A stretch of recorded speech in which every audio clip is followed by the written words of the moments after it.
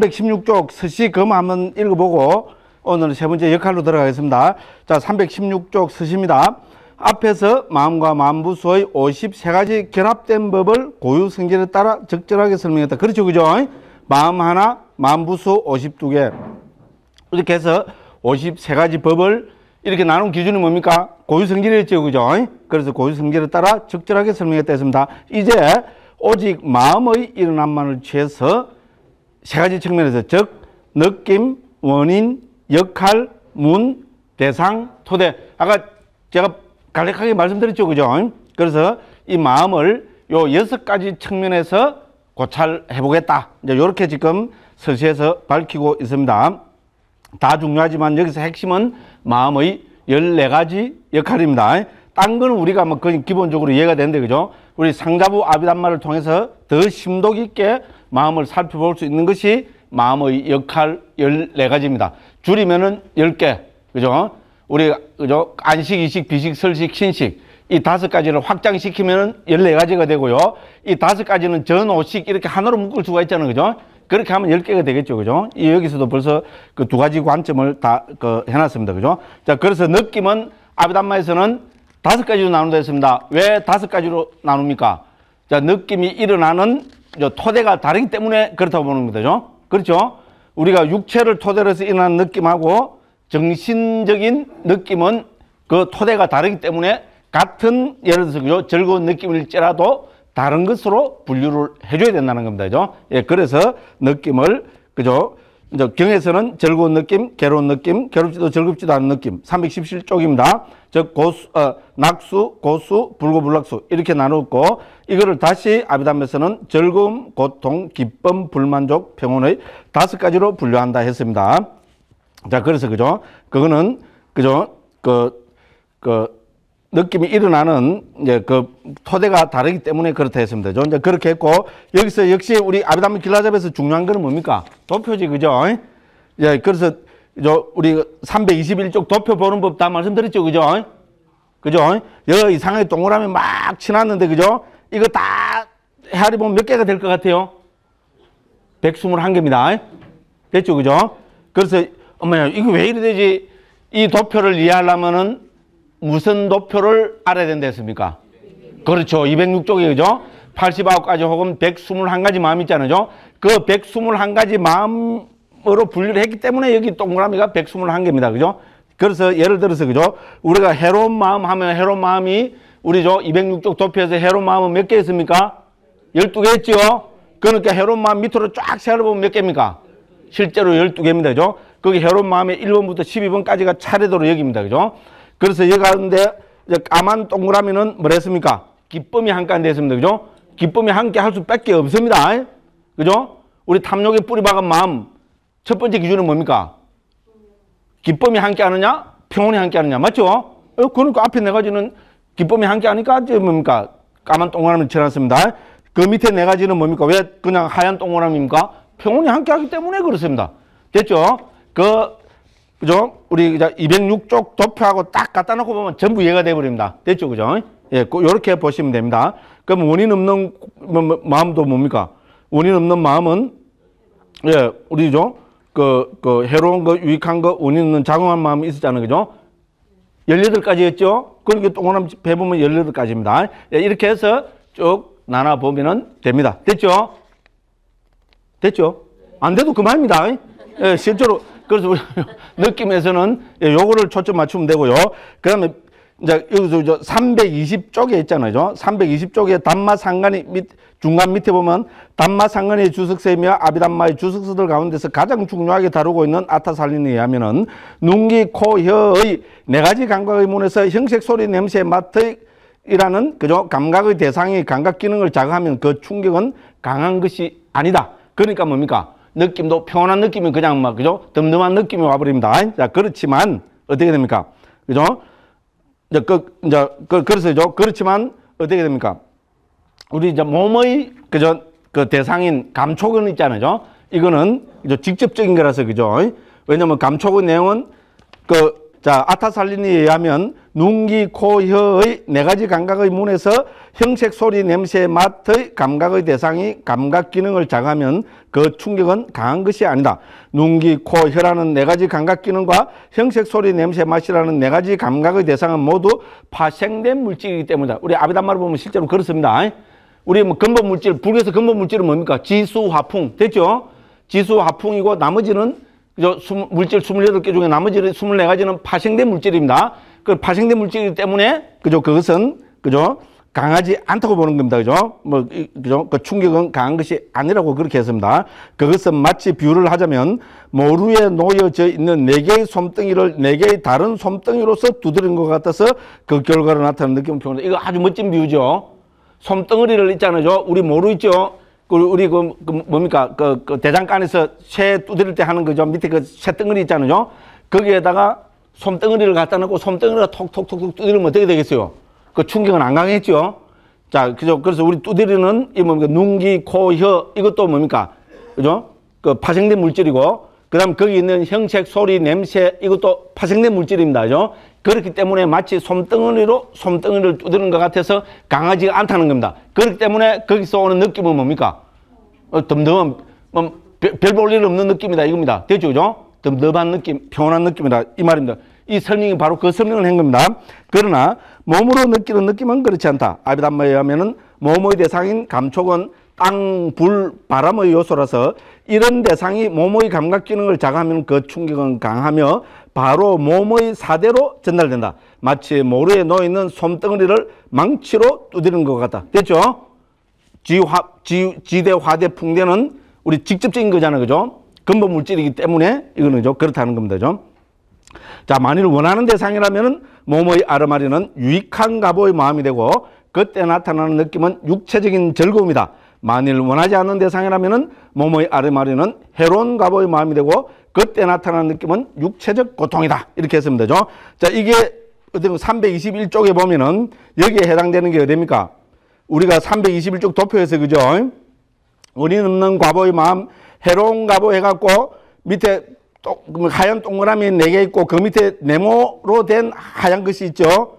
이게 고통이지. 이게 바로 신식입니다. 몸의 아르마리는 어떻게 됩니까? 바로 있잖아요.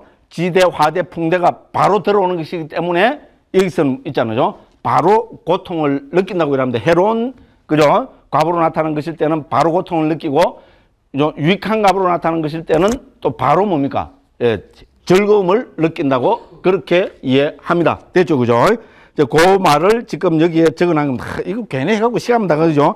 또 이왕 한 거, 152 쪽도 한 펴보십시오. 152 쪽에 보면 그것도 도표 있지요. 원인 없는 마음들 해서 18가지 적어놨죠.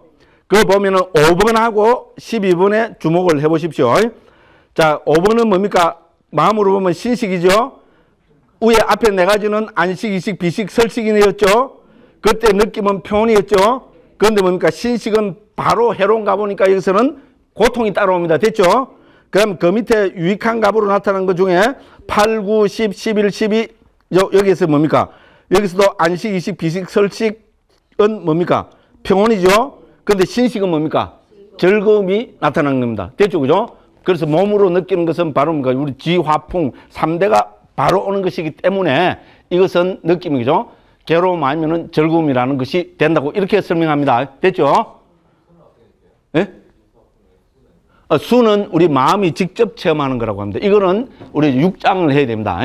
예, 책 갖고 계시면 우리 저 이, 이, 이 학원 있잖아요. 이권에 보면은 그 6장에 보면은 요거 있죠. 예, 예. 그 책을 봐도 예, 그대로 됩니다. 예, 거기 설명이 돼가 있습니다. 아, 그다음에 이렇게 하고 넘어갑니다. 그다음에 이제 두 번째가 뭡니까? 원인의 길라잡이죠. 원인은 뭡니까? 탐진치, 불탐부진 불치. 그러면 저 89가지 혹은 121가지 마음에 있잖아요. 그죠? 예? 무슨 원인을 갖고 있냐. 이거를 살펴봅니다. 여기서 중요한 거는 뭡니까? 323쪽 도표입니다. 됐죠? 도표 보면 여기서는 전부 89가지 마음으로 분류를 하고 있습니다. 자, 그래 보면은 우리 탐욕의 뿌리 박은 마음에는 몇 가지 원인이 있을까요? 우리 해로운 마음에는 기본적으로 뭐가 다 깔려 있습니까? 어리석음, 그 탐진, 치 할 때, 그죠? 치가 기본적으로 깔려 있습니다. 그리고 탐욕의 뿌리 박았으니까 탐욕이 있겠죠? 그러니까 최대 두 개의 원인을 가지고 있습니다. 됐죠? 그죠? 그 다음에 성냄의 뿌리 박은 마음도 최대, 어, 그러니까 그두 개를 가지고 있습니다. 어리석음의 뿌리 박은 마음은 당연히 어리석음 하나만 있습니다. 그죠? 그래서 우리 해로운 마음은 뭡니까? 한 개의 원인을 가졌거나 두 개의 원인을 가진 마음밖에 없습니다. 그죠? 그 다음에 원인 없는 마음은 18가지는 원인이 없기 때문에 원인이 없다 합니다. 그 다음에 우리 욕계 마음 가운데서 그죠? 욕계 지혜 있는 마음, 욕계 마음 하면 우리가 욕계, 이건 이제 우리 좋은 마음입니다. 그죠? 아름다운 마음 하면은 우리 아름답다 하면 뭐가 떠올려야 됩니까? 유익한 것, 과부로 나타난 것, 장만한 것, 이래 되겠죠. 그죠? 그러면 우리가 욕계 유익한 마음은 여덟 개였죠. 여덟 개 가운데 지혜가 있는 경우가 네 개였죠. 지혜가 없는 것이 두 개였습니다. 그죠? 그럼 욕계에서 유익한 마음이 일어나면은 불탐부지는 반드시 포함이 되죠. 그죠? 반드시 들에 다 있었습니다. 자, 그래서 지혜 있는 마음이 일어날 때는 어떻게 됩니까? 전체 몇 개가 일어나겠어요? 예? 욕계 지혜 있는 마음에는 여기서 그죠? 12가지가 일어난다 해놨습니다. 왜냐면 4, 3, 12 됐죠? 유익한 마음, 과부로 나타나는 마음, 자궁하는 마음에 지혜가 있는 것은 각각의 4개씩입니다. 됐죠? 그죠? 그래서 4, 3, 10이 되고, 그죠? 그럼 지혜 없는 마음도 어떻게 되면 각각의 4개였지요? 예, 그래서 4, 3, 12, 12가지입니다. 그, 그렇게 해서 지혜 있는 마음은 뭡니까? 원인을 보면은 불탐부진 불치가 다 있습니다. 도표 보십시오. 그죠? 그럼 요게 지혜 없는 마음은 지혜가 없으니까 불탐, 부진만 포함됩니다. 그래서 두 가지 원인을 가집니다. 자, 고귀한 마음은 뭡니까? 우리 저 새끼 마음, 무식의 마음을 고귀한 마음이라죠. 새끼 마음은 몇 가지입니까? 열다섯 가지입니다. 왜 열다섯 가지입니까? 초선, 이선, 삼선, 사선, 오선 각각에 대해서 유익한 마음, 과부로 나타나는 마음, 자궁만한 마음. 그래서 3 곱하기 5 혹은 5 곱하기 3은 15 됐죠. 그죠? 그 다음에 뭡니까? 무식의 마음은 몇 개입니까? 12가지입니다. 우리 족 무식의 마음은 네 가지죠. 공무부임처, 식무인처, 무소유처, 비상비비상처. 이 각각에 대해서 유익한 마음, 과부로 나타나는 마음, 자궁만한 마음 하니까 12가지가 됩니다. 그래서 다 다음은 어떻게 됩니까? 27가지. 15 더하기 12는 27. 됐죠. 그죠? 그래서 고귀한 마음입니다. 그래서 27로 되어 있고요. 고귀한 마음이라는 것은 당연히 불탐부진, 불치가 다 포함이 되어 있습니다. 출생한 마음은 8개입니다. 왜 8개입니까? 그리고 도의 마음 4개, 과의 마음 4개, 예류도 일례도 불안도 아란도 4개, 예류가 일례가 불안과 아란과 4개. 당연히 출생한 마음에는 우리 지혜가 있어야 되겠죠? 그래서 불탄, 부진, 불치가 다 있습니다. 자, 그렇게 해서 이렇게 했습니다. 자, 왜 이렇게 그죠? 아비담마에서 마음을 자꾸 따지 샀냐? 사람을 차별하기 위해서 그렇습니다. 됐죠? 그죠? 어, 차별한다는데 어떻게 차별합니까? 막, 한, 한 바쁘십니다. 시간 없어서, 그죠? 442쪽 한 펴보십시오. 이거 저 사장의, 사장입니다. 사장에서 보면 그죠? 442쪽에 보면은 개인에 따른 분류 해놨죠? 찾으시죠? 개인에 따른 분류 해갖고 뭡니까? 그거 보면은 그 24번에서 두 개의 원인을 가진 자 해놨죠? 그죠? 그 다음에 원인을 가지지 않은 자. 그 다음에 443쪽 제일 밑에 보면은 세 개의 원인을 가진 자. 요리 되어 죠 그죠? 자, 그래서 우리 재생 연결, 우리 한 세상이 태어난다는 것은 한 세상의 최초의 아르마린 재생 연결식으로 그 세상이 태어나죠.